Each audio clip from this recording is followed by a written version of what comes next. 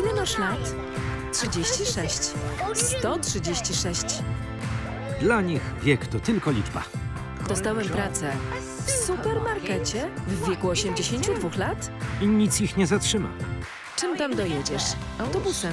On w autobusie, śmieszne. Ludzie lubią autobusy. Jacy ludzie. Ostatnie tango w Halifaxie. W sobotę o 22.30 premiera tylko w BBC First.